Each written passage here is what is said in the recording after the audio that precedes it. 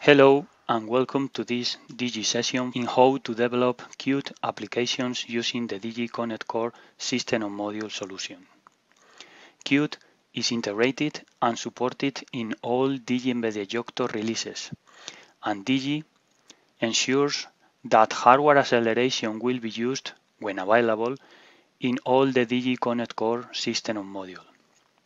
Today, I will show you how to configure the Qt creator using the default Digi Embedded Yocto images to enable you to design, create, compile, and remotely debug your Qt application running in the Connect Core 8M Nano. This is the hardware that I'm going to use in order to do this video. So this is the Connect Core 8M Nano DBK and also the, the display and we need to use the power supply connector, we need to use the console connector, and also we need to use the Ethernet port. And we need to use the LVDS connector for the display.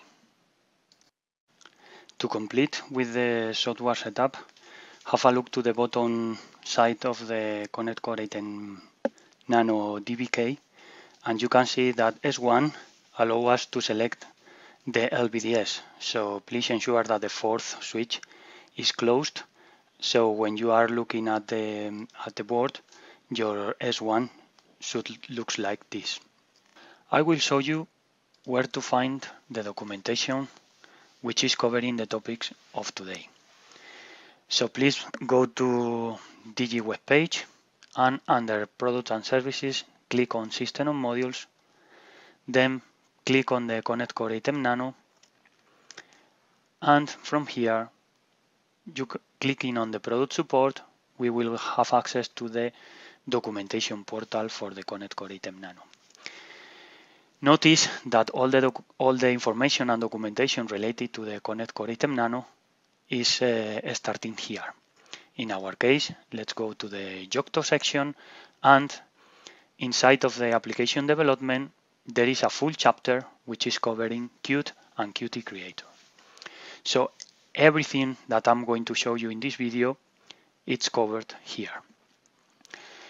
Additional to that, you need to visit this uh, get started and program the Yocto firmware because you need to program the images which are provided by Digi. So you need to follow one of these uh, procedures in order to program them on the Connect Core 8M Nano development kit. Let's start Qt Creator.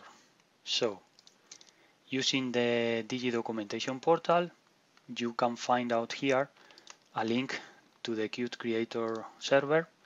So we can select the latest one, in this case 4.15, and in order to use the right version, we need to select for our Ubuntu machine the open source Linux for x86.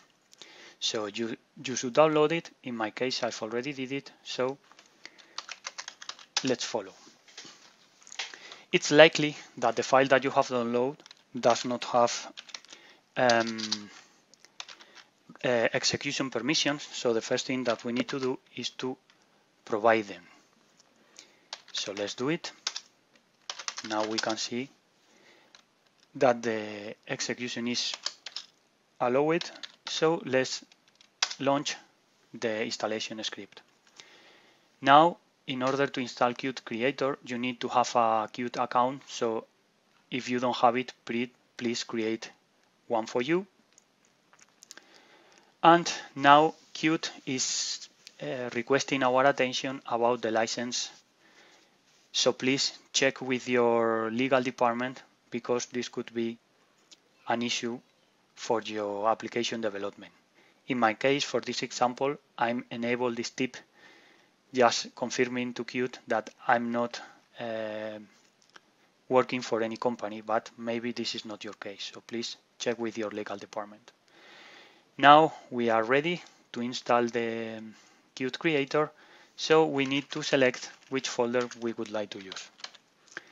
I'm going to, to select slash opt because I've already ensured that the Linux user that that I'm selected here is the owner of OPT in order to avoid further issues with the permissions. And again, Qt is requesting our attention for the license. So again, check with your legal department that everything is, is okay for you and your company. Once the installation is finished, we can just close and we can continue. Now we need to install the SDK that Qt Creator is going to use to create the Qt applications. So on the landing page for the Connect Core 8 Nano, on the tab of product support, if you scroll down, there is a software section, which the first link is exactly that, the SDK. So please download it, and then we can continue. I've already did it, so it's here. So again, be sure that the, the file has uh, execution permissions and then you can execute it. The first thing that the script is going to ask us is uh, the folder that we would like to install to. And again, remember, you need to have at least write permissions and it will be even best if you are the owner of the folder that you are going to, to use, which is my case with slash opt. So there is a, another confirmation and once you click enter, the installation process will start. Now we can put the two pieces to work together. So the first thing that we need to do is to go into the folder where the Qt, Qt Creator has been installed. And here under the bin folder, we will find out the script that will launch the Qt Creator. Here there are two options. So if we just launch the Qt Creator script without anything else, uh, when we compile uh, our application, the, the Qt Creator will use the standard uh, Ubuntu SDK. So you will compile a binary for 8, 8, 86 machine. Okay, but this is not our case. If we are interested in build applications, binaries for our Connect Core 8 Nano, we would like to use the SDK that we have just installed. In order to do that, we need to use the source command and point to one of the scripts that the SDK have installed, which is this one. So this guy will properly set up all the environment variables in the console that later on Qt Creator will use in order to understand where all the pieces of the cross compiler and the SDK are located. Before to launch the Qt Creator, I could like to tell you that if you have any error on the on the console because something is missing, you might need to install uh, and another library. So let me let me show you which one. In my case, I've already installed it, so I don't know to do it, but maybe in your setup, you need to do it. At this point, we can just launch the Qt Creator and we have it. The next thing that we need to do is to connect the Connect Core 8 Nano with the Qt Creator. So in order to do that, the first thing that we need to do is to log in in our DigiEmbedded Yocto image, which is running on the Connect Core 8 Nano. And let's ask for the IP address that my DHCP server has provided to the board. So you can see here the IP address. So let's use it in the configuration for the Qt Creator. So tools, options, and under the devices section, we need to click on the add button.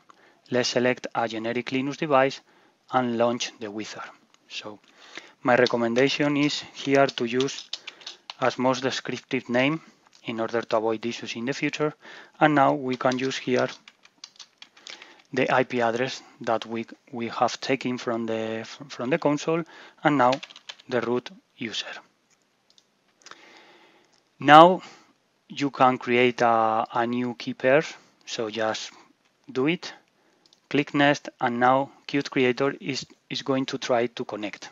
So let's see what's happened. So the rsync is not working, but for the topics that we are going to cover today is enough, and you can see here that the, the connection was successful. We can configure now the kit. So the kit is, uh, is a, an umbrella which will contain all the configuration that Qt Creator will need in order to develop for the Connect Core 8M Nano in this case.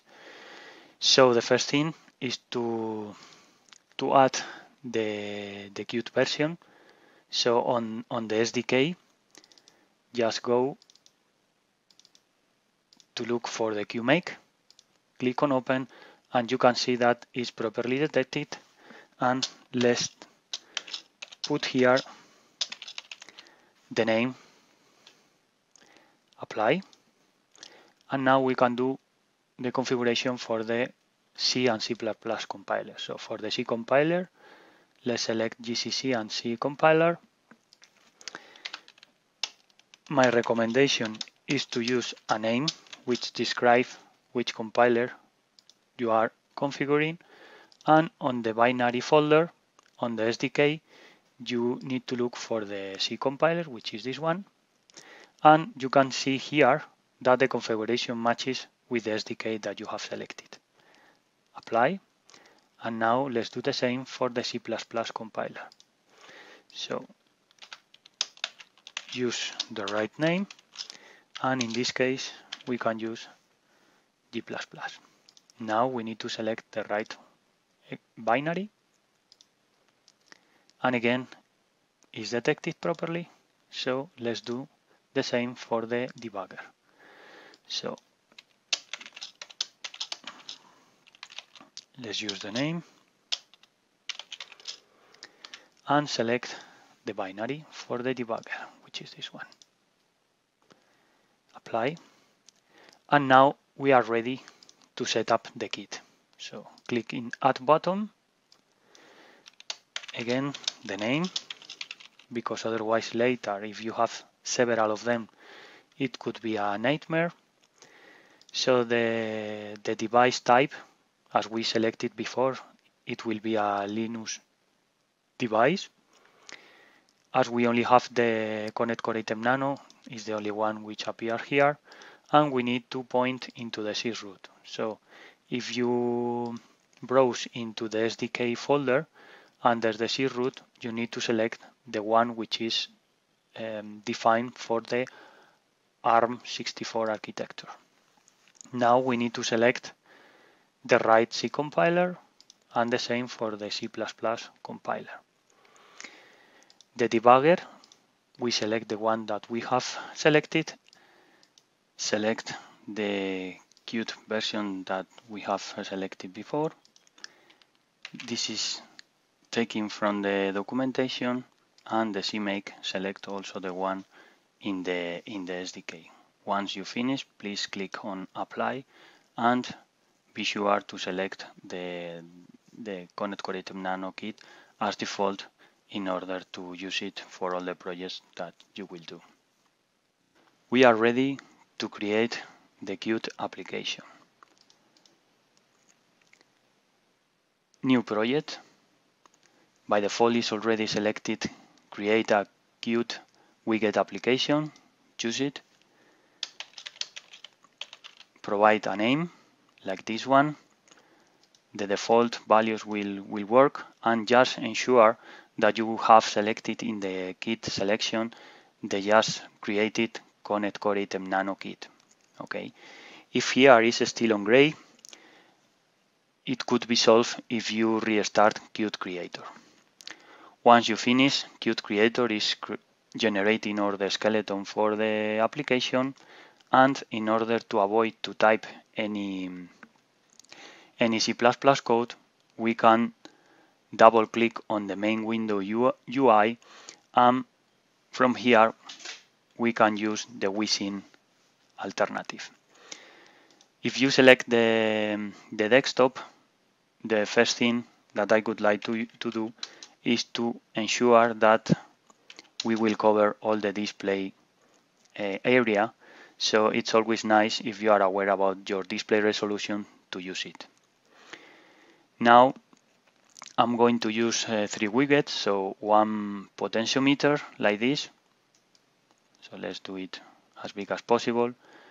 A seven segment display like this. And I will use also a taskbar like this. Once you have the widgets uh, placed in the in the desktop, Qt Creator allows you also to edit the signals and slots, and you can connect the different widgets. And this dialog will tell you which functions are compatible. So when we change the value on the dial, I could like the display to show me the the numbers. And the same between the dial and the progress bar. So as soon as I change, I would like to see the numeric value on the on the progress bar. It's a nice idea to save it.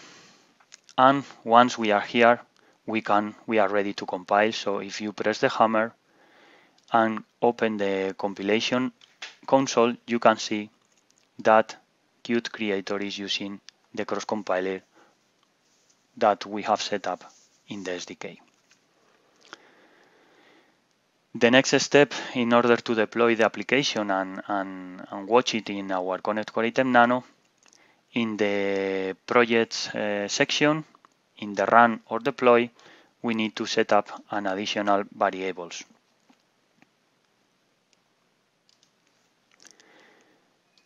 We need to set up Wayland display and we need to say in which display we would like the application to be shown even if you only have one display. We need to specify the platform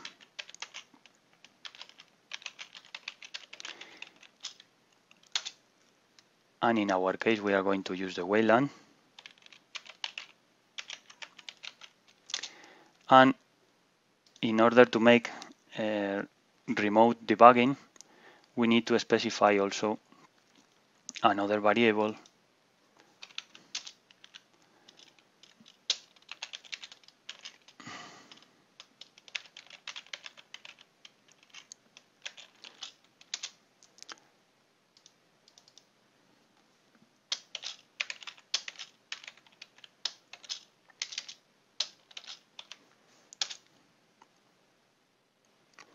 we need to configure the board in order to use the LVDS port.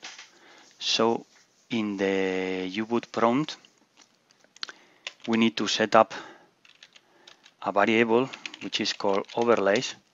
I've already did it, but if you have a, a completely new board, you need to use the setenv command, then the name of the variable, which is overlays, and then the content which is this one and you need to save in flash because U-boot is always working in RAM and now you can start the connected ATEM Nano Linux. Once the Linux has boot, we can launch the application directly from the Qt Creator. So if you click on the left bottom side, you can see here on the application output console how Qt Creator is sending the application and I will show you how the uh, display is showing you the just created application on the display. In your Connect Core 8M Nano evaluation kit connected to the display, you should see something similar to, to this. So you can see how as soon as you change the value in the potentiometer, the other two widgets follow the numeric numbers automatically. Okay. And last, I would like to point you that from the Qt Creator, you can shut down the application so you have the full control from Qt Creator about what is happening on the target. The last part of this session is uh, to show you how to make the remote debugging session.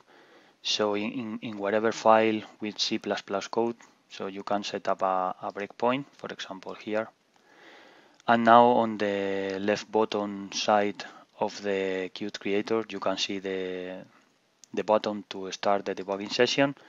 And now Qt creator is connecting the the GDB server, which is running on the Connect Core 8 Nano, which is where the application will be run, and the, the, the GDB, which is running here on your machine.